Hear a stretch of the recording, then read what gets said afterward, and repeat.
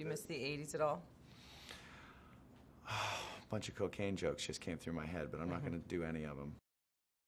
I'm Krista Smith, and I am sitting down with Jason Bateman, who has his film here and one that's opening in a couple weeks. This is where I leave you. I was very moved by this movie, and you're you especially. Um, why did you do the movie?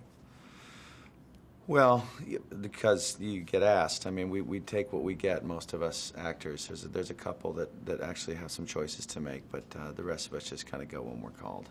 Uh, this, however, happened to be one that was actually really, really good script wise and studio wise and director, cast. Uh, my part is fantastic. You know, I don't get asked to do studio dramas. It's, it's, it's a great opportunity for me.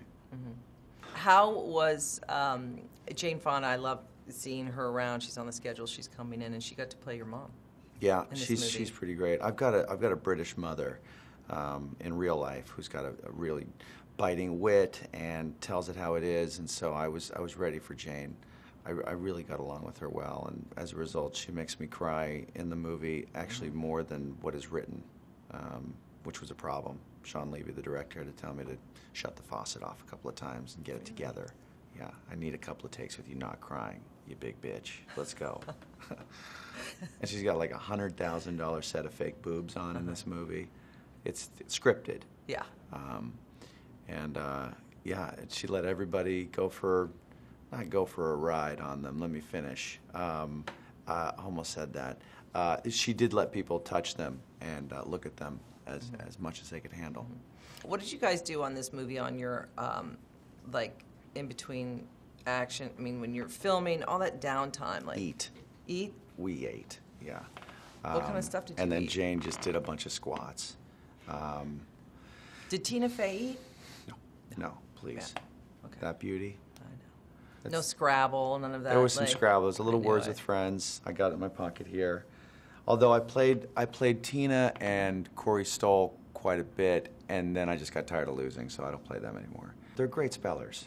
I can't stress that enough. Uh, they really know how to. They know how to fill up the bonus tiles. Mm-hmm. Um, anyway, Uh, any other movies you're going to be starring in? well, you got the Horrible Bosses 2 coming up just in time Ah. for Thanksgiving, gang. If you're Well, hungry good. for comedy, I mean, I'm pitching this as a, as a tagline Yeah. for the poster. They There haven't bit yet.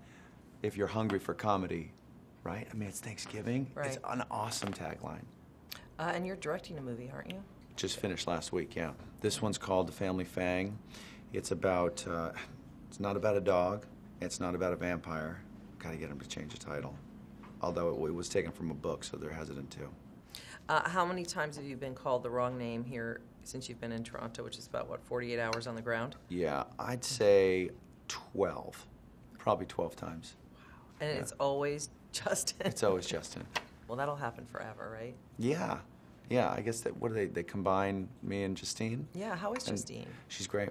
She's really good. She's studying computer science. She's She getting her start coding? master's. Yeah, she's she's she's all in Mallory? coding. Yeah, My Mallory. Yeah. That's it. Jason, thank you so much. I was, was just going to despair if I didn't get to see you here. You're Thanks, our Krista. favorite, right? Everybody? Say yes. Yes.